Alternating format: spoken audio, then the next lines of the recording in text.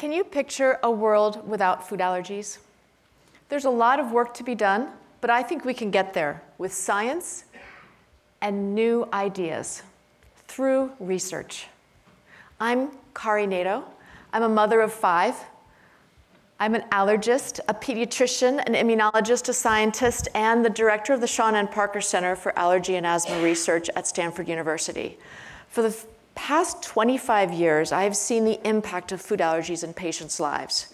I am also witnessing the possibility of a world without food allergies through science. Food allergies are rising. In this family that's multi generational, there's a chance that one in four people will have a food allergy at some point in their lives. It's at the 300% increase compared to 20 years ago. In fact, in the United States, two children out of every classroom have food allergies. It's not just a childhood disease, though, it's also an adult disease. It's thought that 4% of all adults in the United States have food allergies.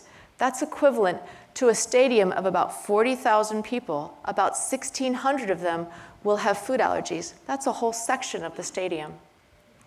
Moreover, of children and adults with food allergy, 25% will have a severe allergic reaction at some point in their lives. And that's increased if someone has multiple food allergies. Dr. Ruchi Gupta in Chicago has studied how much the cost is to the US healthcare system. It costs $25 billion a year to take care of people with food allergy because of emergency room visits, because of special diets, and because of days off from work. With that in mind, that's equivalent to 400,000 research grants to 400,000 researchers to be able to try to find the cause and the cure of food allergies. I'm sure all of you are aware of the restrictions in schools as well as labeling laws due to food allergies. Those are only going to increase because the rate of milk and peanut allergies, for example, is increasing and doubling every 10 years. For some tree nuts, it's tripling. Those statistics bother me. They motivate me. And importantly, patients' stories will and sure to inspire us. Years ago, I took care of a family with food allergies. The mother came to me with her identical twins. And the identical twins, they had similar allergies to milk and cashew, but they also had different allergies, one to wheat and one to peanut. So the mother asked me to be able to think about diagnosing them through a good gold standard diagnostic technique, which is called a food challenge. She also told me that in her family, she did not have any allergies, but her husband had hay fever. So I explained that in a food challenge, we slowly, in a clinic, increase the dose and watch for an allergic reaction. And that that allergic reaction can actually represent the immune system getting confused and thinking that the food is a danger signal. Just like we get a bee sting and we have redness and hives and wheezing and a potential blood pressure drop, the same can happen with food allergies. So her sons went through the food challenge and they had a severe allergic reaction. And that was very unnerving, very anxiety provoking. And so the mother asked, What can I do? What can I do to prevent this from happening again in my children? And importantly, why are food allergies rising in this world? And so I explained that science has shown that it's a blend between genetics as well as environment and how that impacts the immune system. Importantly, is like this mom, no parent should have to live with the fear and the disabling feature of food allergy. No patient should have to live in fear of eating food at school, at home, in social situations. Because of this, I made it my work to be able to try to solve the food allergy problem. Fortunately, many people are looking at prevention. There is a pathway, thanks to science, to be able to think about that possibility. The power of prevention can begin at home.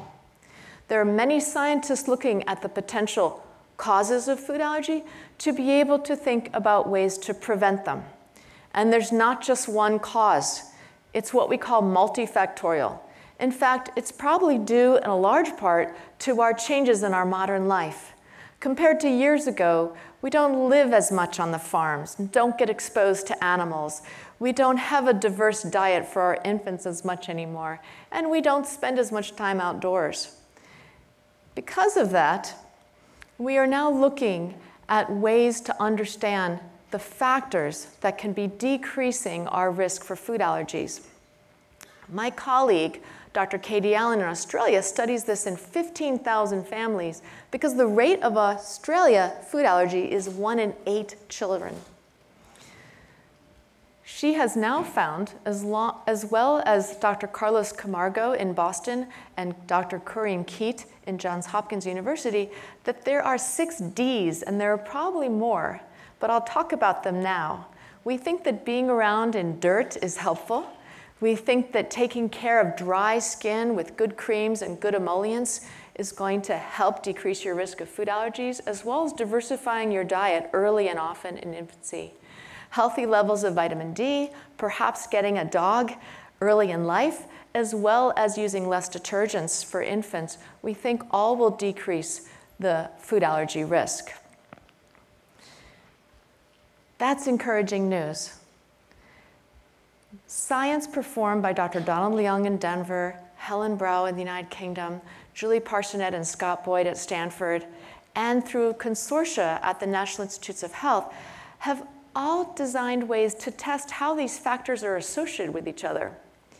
Importantly, if you have dry skin or eczema, that can crack the skin. And in infants, if they have tiny amounts of food allergen exposed to their skin over time, the immune system gets confused again. It thinks that's a danger signal, and the person can start having a food allergy. But that's counterbalanced with the GI tract, if you actually eat the food orally, that can train your immune system to protect against that danger signal. And so at the age of about four to six months, when you're introducing solids to your baby, many scientists have found that a diverse diet can help reduce the risk of food allergies. Dr. Gideon Lack, for example, went to Israel and realized that the children that were eating bamba actually had a lesser rate of food allergies. And so he designed a study in hundreds of infants to be able to introduce a diverse diet. He specifically also looked at introducing peanuts, and what he showed was that the rate of peanut allergy in those children that were exposed to peanut early through their diet had a five-fold decreased risk for food allergy and he found it to be safe. That's a radical idea. And compared to when I was raising my children in the year 2000s, I was being told to avoid, avoid, avoid, delay the introduction of milk and peanuts and shellfish until they're at three years of age. Now we've turned a 180, and in fact, it's the exact opposite that we actually want to diversify that diet.